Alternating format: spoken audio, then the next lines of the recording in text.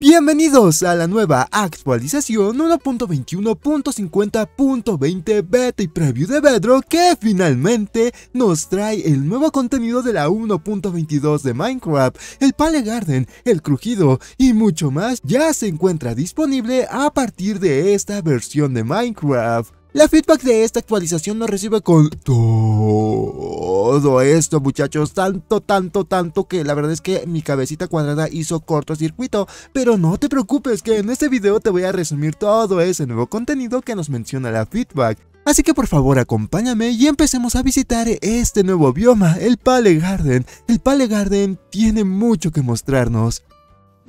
El Pale Garden o Jardín Marchito es un lugar con un ambiente tenebroso, no solo por su estética, sino por los sonidos ambientales de este bioma.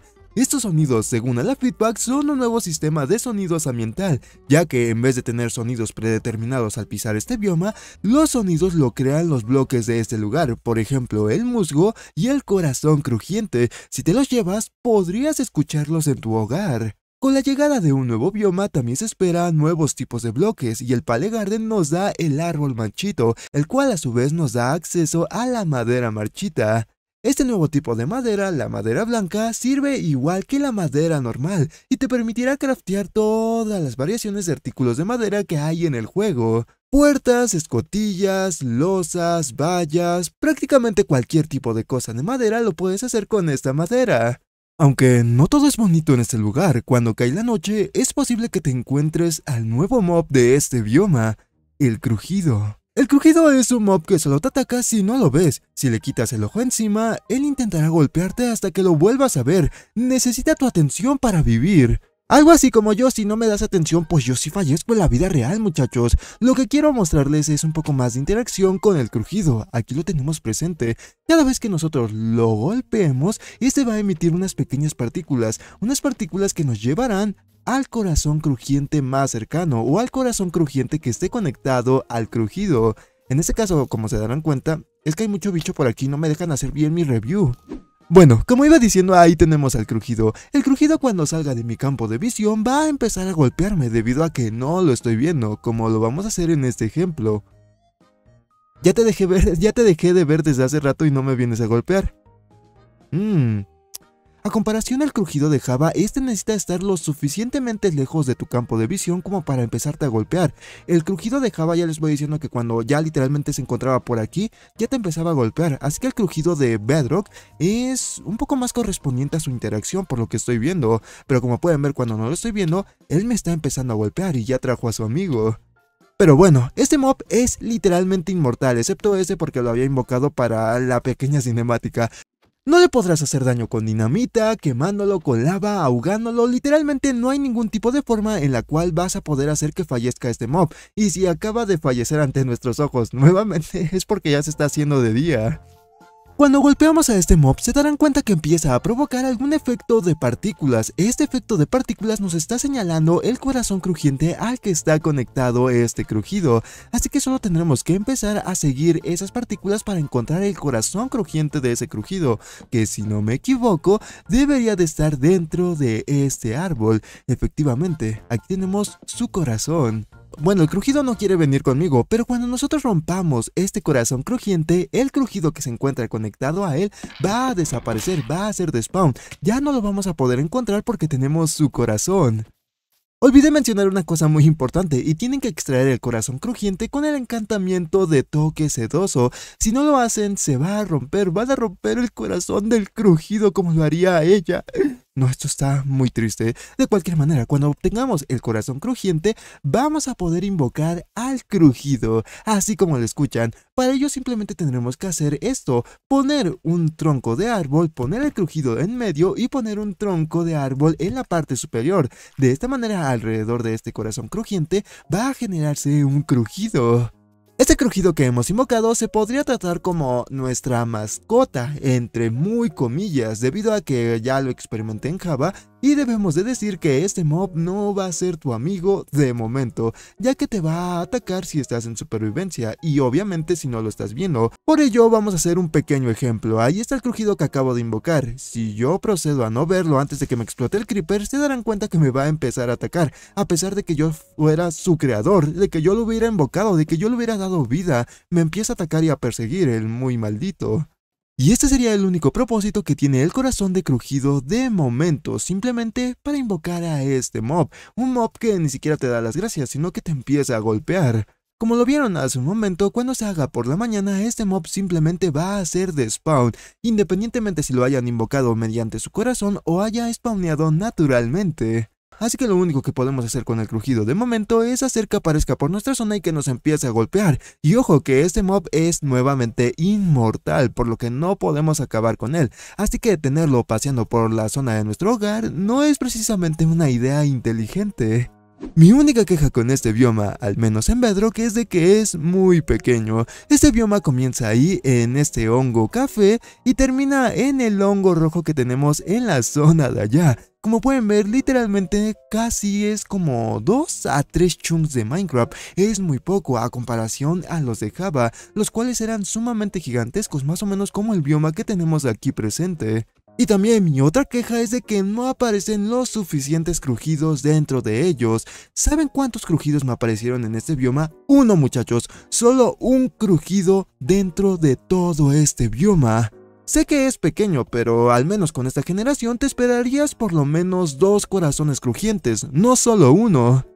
Pero probablemente esto sea mejorado en las próximas actualizaciones, así que no se desesperen. Ahora te voy a mencionar algunas características extra. Por ejemplo, las espadas ahora pueden cortar retoños de bambú instantáneamente, como lo hacen con el bambú. Las hachas ya no extraen retoños de bambú ni alfombras de musgo más rápido, los picos y las palas ya no extraen bambú tan rápido como las hachas, las masas ya no extraen telarañas más rápido que otras herramientas que no sean espadas.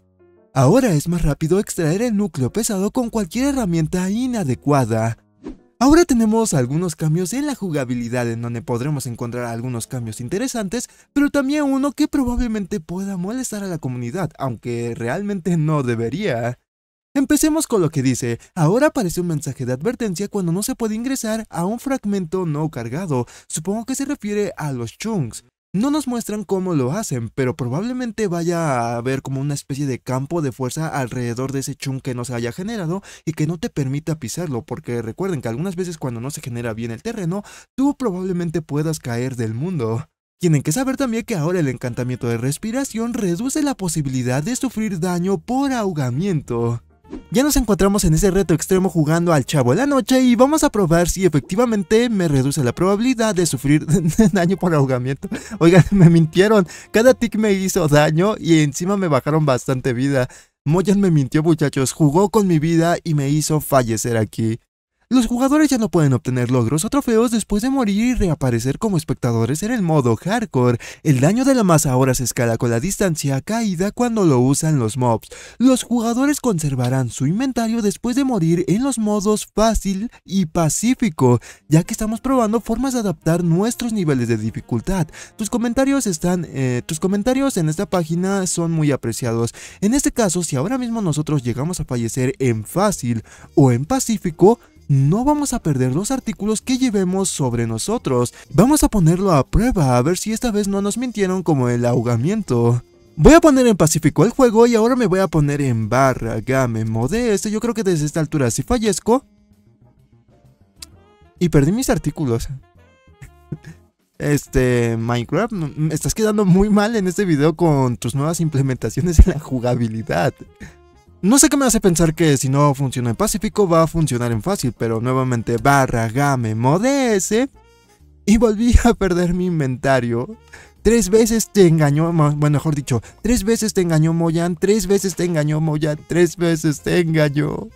Una pequeña observación que les hago rápidamente es de que al parecer este contenido del jardín pálido ya se encuentra disponible por defecto en la 1.21.50.20. A lo que me refiero es de que no tuve que activar ningún juego experimental para poder acceder a este nuevo contenido. Como bien lo pueden ver aquí en los experimentos, todo está desactivado y no hay ningún juego experimental con el cual activar el jardín pálido y al crujido, sino que todo esto ya venía por defecto. Me gusta, me gusta este cambio, siempre y cuando no venga con problemas en las futuras actualizaciones. Y otra cosa que también pude notar es que tenemos una nueva configuración en las configuraciones del juego, y es este, el de Bets Work. Para no hacerles el cuento largo, este fue un comando que se integró en la 1.21 si no me equivoco, y nos permite modificar la cantidad de jugadores que se necesitan para poder pasar la noche. Supongamos que son dos jugadores, por lo que para dormir necesitaríamos el 100% de los jugadores, que en este caso son los dos. Si quisiéramos podríamos configurarlo al 50%, lo que quiere decir que si tan solo uno de esos dos jugadores duerme, va a pasar la noche. Y si lo configuramos a 0%, como somos dos jugadores, pues bueno, tan solo uno va a tener que dormir. Pero si fuéramos, por ejemplo, 50 en este mundo, con tan solo que duerma uno de ellos, va a poder pasar la noche. Ahora ya se encuentra disponible en las configuraciones del juego, lo cual me parece agradable porque al parecer ya no lo tenemos que activar con trucos, sino que ya va a estar por defecto en nuestros mundos.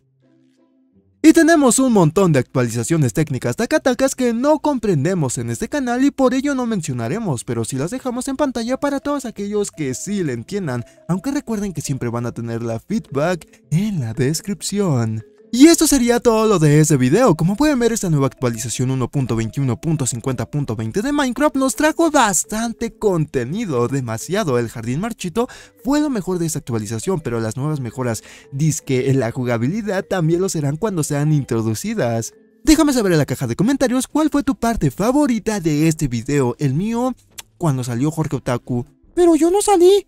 Sí salió en mi imaginación, es más, ahí lo puedo ver, lo ven muchachos, yo no estoy loco, no, yo veo a Jorge por todos lados. Esto sería todo de mi parte, recuerda que si quieres un poco de plática conmigo, tienes todas mis redes sociales en la descripción. Yo de esta manera me despido, mi nombre es Loboxy y nos vemos en el próximo video. No me puedo ir volando porque no me puse en creativo.